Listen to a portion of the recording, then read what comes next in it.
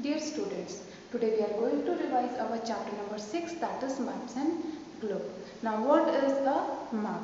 Map is a useful or very helpful uh, paper which help us to locate the new places.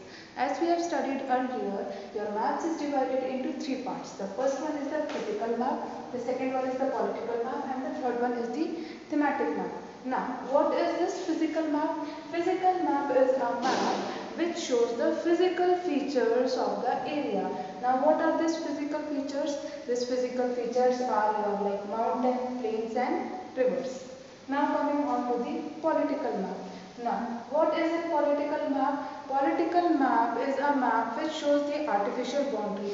It can be the boundaries of states or nation, nations like your different countries. So, political map it shows the artificial boundaries of states and national borders. And the third one is your thematic map.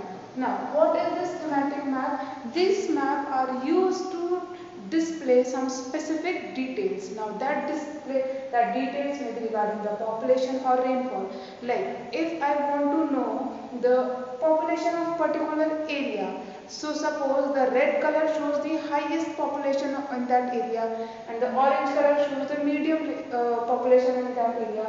So all these details are displayed in your thematic map. So your three kinds of map, the one is physical map, with your showing physical features and you are having political map showing the artificial boundaries and the third one is your thematic map which displays the detail of the specific area.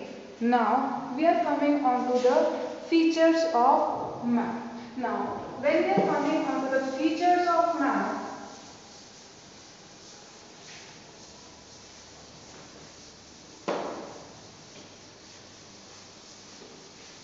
Yes. When we are coming on the features of map, what are the features of map? The first feature, when we are talking about the features, I divided something like this. The first feature is your symbol. And the second one is your colors. Now, whenever you are seeing some map of an area, there are some symbols which represent special buildings or special area or special construction in that area. Okay, like you are having many symbols in your book, like if this symbol is written, it shows the parking you are having a symbol for hospital also. You are having a symbol for church railway crossing. So this each thing have the different symbol. Now we are coming on to the colors. Now different colors are being authorized to show the specific bodies like whenever there is a blue color in your map the blue color always shows water body the water bodies it may be a river lake sea or ocean. When you are having green color, green color shows you the plains. What it shows?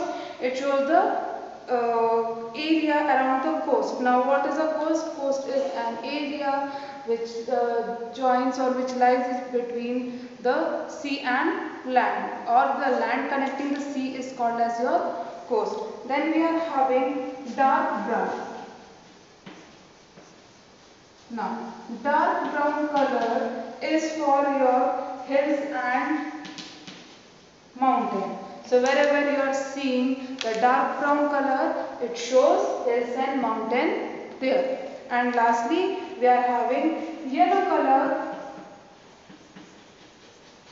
Yellow color, it shows the higher areas. So you can recognize from here that each color indicate one feature there like blue color shows water body, green color shows plain, then dark brown color shows hills and mountains and the yellow color shows the higher region. Now, in this chapter, we have studied about your limitations or sorry, useful of map. Now, how maps are useful? The first usefulness of map is that it helps us to locate a place in an unknown area. The second one is that whenever you might have seen in television, whenever there is a broadcasting of weather, how they represent that weather forecasting?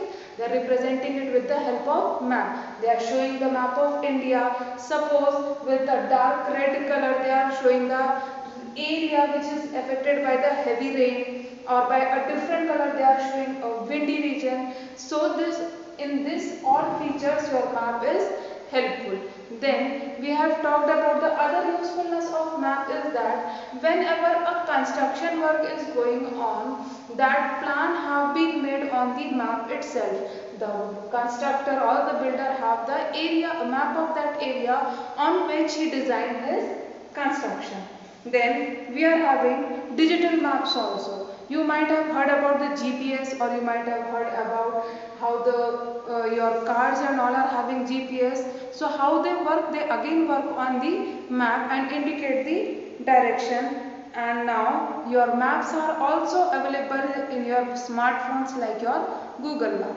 Now we are going to learn about the limitations of maps so what are this limitation of map? The first limitation of this map is a paper map shows limited features only. That means on a paper map all the features cannot be explained in details. So here your paper map have a limited feature. Then secondly, not everyone can understand symbol of the map. Means only the person who knows to read the map can understand the symbol present on it. Then you are having secondly the next one is there are many elevations up and down which is not possible to show on a paper map and then lastly the paper map is time consuming as it needs time to understand the map so here your paper maps are time consuming. Now we are coming on to the next topic that is globe.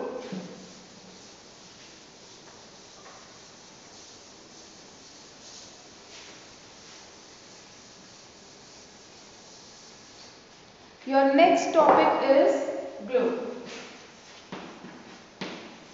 So what is a globe? A miniature of earth is called as globe or a mini model of earth is called as a globe on which there is a spherical globe which represent all the areas in the in it. Now when we are seeing the globe you can see the picture of globe there in your book also now here I am just trying to draw a globe. Now just try to see the points here. Now globe, it shows the accurate information, it shows the accurate information whatever um, those features are present on the earth. Now we are studying about the axis. You have seen a rod there in a globe which is attached from this end to this end that is upper end to lower end that is called the axis of the earth. It is easily visible in your book. Then you are having two poles here. The first one is your north pole. This is your north pole and here is your south pole. So two poles are present. The one is the north pole and the another is the south pole. The upper one is called as the north pole and the lower one is called as the south pole. Now there is a midway between the north pole and the south pole an imaginary horizontal line. Now this is your horizontal line.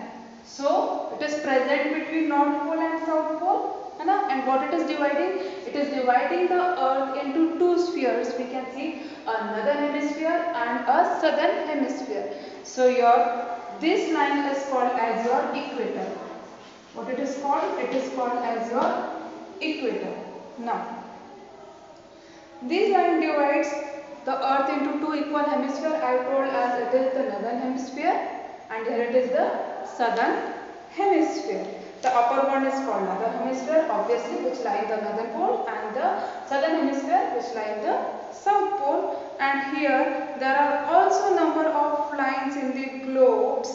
These lines are called imaginary lines and help us to locate the places. Now these vertical lines are longitude and horizontal lines are latitude. We'll study it further. Now as you have studied about a single horizontal line which divides the earth into two equal halves, it is called as the equator. Now we are going to study about the latitudes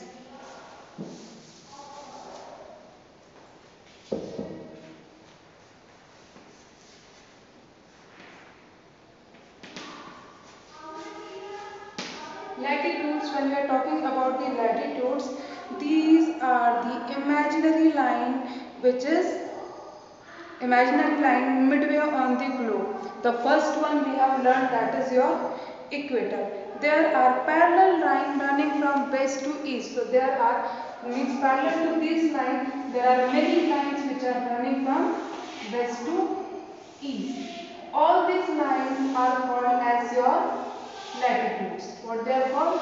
They are called as your latitudes. So, these have been covered till top. Just for an example, now we are having 90 parallels in northern hemisphere and 90 parallels in southern hemisphere means your this part. This is your equator. 90 parallels are here and 90 parallels are here. So there are total uh, 180 parallels here. So when we are talking about total, how many total latitudes are there? It is 180. Now you are having some other also like equator is your at 0 degree. Then you are having tropic of Capricorn, Antarctic circle, tropic of Cancer and Arctic circle. So in this way your latitudes have been divided. Let me remind there are 90 parallels in northern hemisphere, 90 in southern hemisphere and 180 in total. Now these line, the length of this line keep on decreasing as it is moving to upward. Like the maximum length is here and as soon as these lines are moving to upward what you can see? You can see the length of the line is decreasing.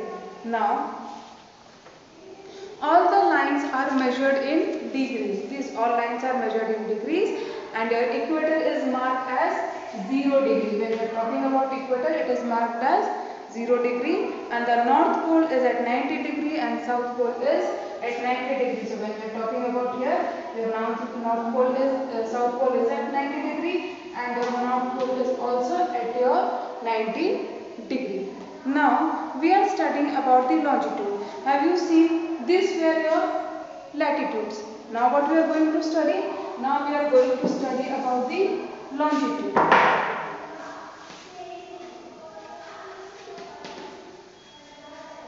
Longitudes and latitudes. So now the horizontal lines were your longitude. Now here your vertical lines would be your latitude. Just see here. Suppose this is your earth. We have studied horizontal lines for latitude. So I said now your vertical lines are your latitude. What are they? Here again your north pole and here is again your south pole. So your vertical line that means which is standing erected is your vertical line and they are called as your longitude and here they are our latitudes were 180 in number so your longitudes are 359 in number. They are 359 in number and as in latitude your length of the line was decreasing as the lines were moving to top direction but here all the lines are of same length. That means uh, you can draw as many as latitudes uh, sorry longitudes they all would be of equal length now we have as we have studied about the equator equator divide the earth into two hemisphere that is your northern hemisphere and southern hemisphere and it was an horizontal line now we are talking about a vertical line which is called as prime meridian and it divides the earth into two halves. That is your eastern hemisphere and western hemisphere. In this way your earth is divided into two parts. The area toward east of the prime uh, the area towards the east of the prime meridian is called as the eastern hemisphere and the area toward the west of the prime meridian is called as the western hemisphere. Now we are talking about the grid. When you are telling that map is helpful to locate the place, can you tell me when the pilot fly their plane or launches the missile, how they come to know about the exact location? The reason is presence of latitude and longitudes. Now, you are having lines like this. I am just drawing a little bit one. This section is called as grid. What it is called? Grid. So intersection point between the longitude and the latitude is called as the grid. So with this help of this grid, we are having a degree of uh, longitude and a degree of latitude. Wherever both these degree meet, their reading shows a specific area or a country or location. And with the help of this grid, we can locate the places in the map. Now, lastly, we are studying about the continents and ocean. So, in continents and ocean, we all know our earth is called as the blue planet because the three-fourth part of the earth is covered with the oceans. So, the most of the region is displayed by the blue color. So, it is called as the blue planet. There are five ocean here that is your Pacific Ocean, Arctic Ocean, Indian Ocean, Atlantic Ocean and your Southern Ocean and there are seven continents here. So continents on the earth is your North America, South America, Africa, Europe, Asia, Australia and Antarctica. And your Asia is the largest continent and it holds one third of the earth total land area and India is part of Asia. I hope you might have understood the chapter which has been revised. Thank you.